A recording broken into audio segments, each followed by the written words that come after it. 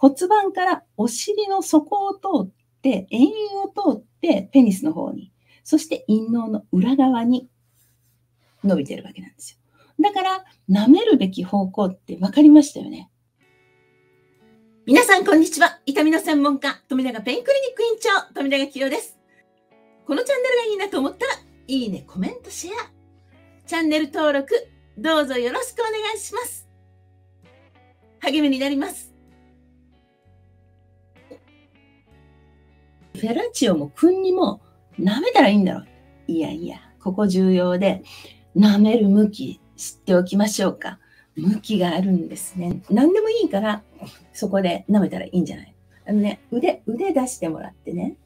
腕、腕の神経っていうのは、だいたい首から生えてて、首から肩、上腕、前腕、そして指先、こういう流れで神経が走っています。いいですか？それでですね、手で触れてみてくれる？上から下。要するに、神経の根元から先に向かって、こういう風な神経の流れに沿って触った方は落ち着くよね。順行性です。で、反対に少しアクセントで入れる場合には、あえて下から上にこう軽く相手の皮膚をなぞったりします。弱い刺激がいいんですけどね、強いと違和感になるので、軽い刺激で前儀で触ってあげるというのもいいアクセントにはなりますが、落ち着かせる、リラックスさせるというのは、まあ、順行性。太い方の神経から細い神経に向かって刺激する。この流れです。いいですか？これをクリトリス、フェラチオにもこれをですね、適用してみよう。ならば神経の流れの向きを正しく知るということです。いいですか？こちら側が男性で、こちら側が女性です。男性は立体臓器なんですけれども、まあ、ペニスと陰嚢、この周辺、そして肛門の周辺、こういうところを舌で刺激する。これがですね、フェラチオということになってきます。で、ここの神経はですね、陰部神経で、陰部神経の枝が細く分かれているので、で陰部神経どこから出てますかっていうと、線髄の、え、S から2から4からこう束になって、骨盤からお尻の底を通って、円位を通ってペニスの方に、そして陰嚢の裏側に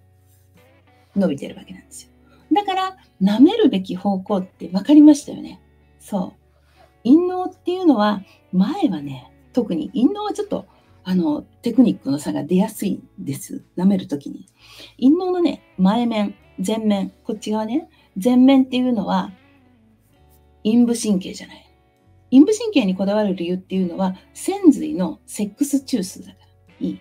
陰部神経を刺激したいなら、陰部神経の枝は、陰嚢は裏側しか来てないから。だから、こう、下から、裏側の下から上に向かって、こう、舐めるのが正しい。手でも刺激するのは、この向き、この向き。だから、こう、股をこう持ち上げたような形で、下から上に舐めてあげるといいなっていうのが、抗陰嚢神経です。で、前面はね、言うほど気持ちよくないの。陰嚢の場合。なんでかっていうと、陰部神経の枝じゃないから。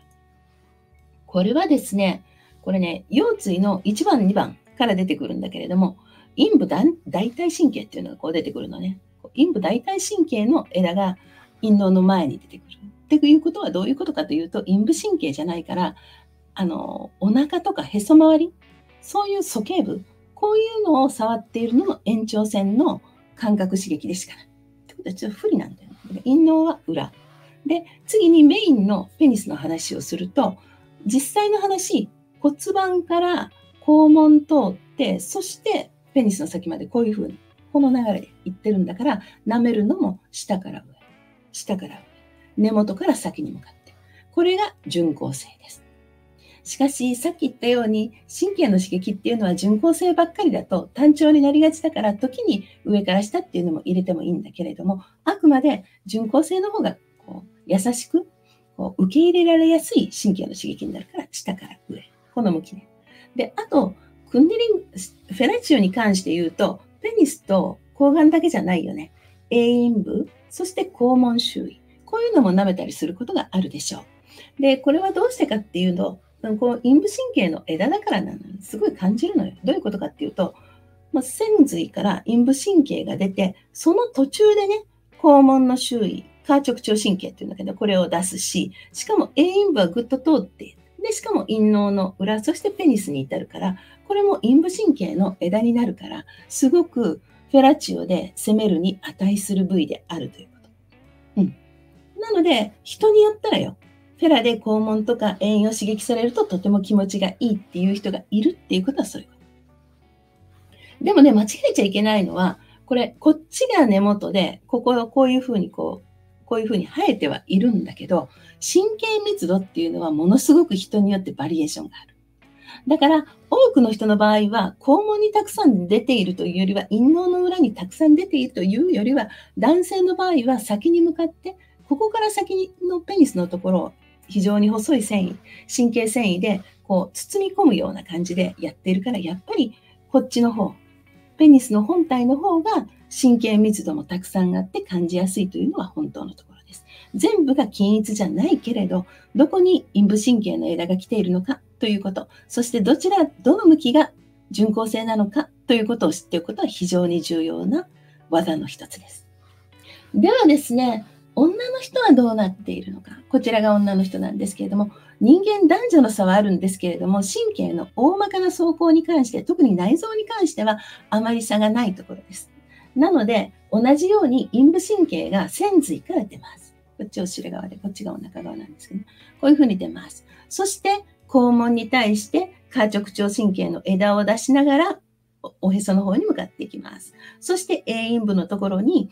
えー、また枝を出して、そして A 陰神経を出して、そしてクリトリスに向かっていきます。で、クリトリスの陰核肺神経からクリトリスのこうちょこっと出ている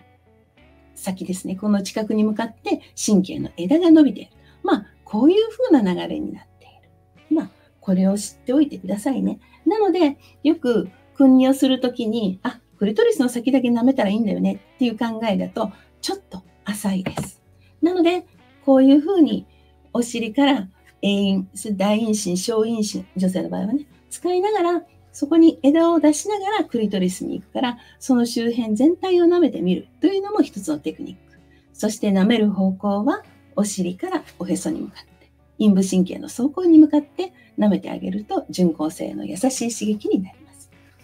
私ですね、6月2日にですね、新刊扶桑社様からですね、女医が導く一番優しいセックスという本を出版させていただくことになりました。こちらのですね、出版の感謝記念無料プレゼント動画というのを今作っております。ちょっとだけ中見せしちゃうフェラチオが8割苦手意識がある女の人、もういきなりもうプロ級になると思う。で、こういうのをですね、昨日ね、連休なのに書いてたわけですよ。もう力入れすぎ。一番優しいセックス、新刊不走者もお楽しみください。そして新刊記念プレゼントの方、もう近日公開予定となっております。もしよろしければご視聴いただければ、プレゼントを受け取ってください。この動画の概要欄に、女医が教える特別なテクニック動画、極上のクンニ攻め、このうずきに耐えられないを公開しています。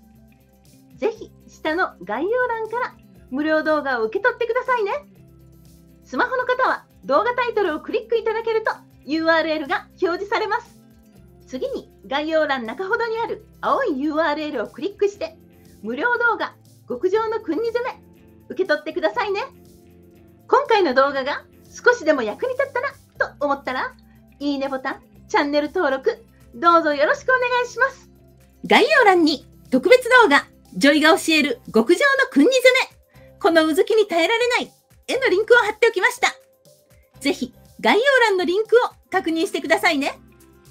こちらはサポートの関係で予告なく募集を終了する可能性があります。少しでもご興味があるならぜひ見逃さないでくださいね。それではまた次の動画でお会いしましょう。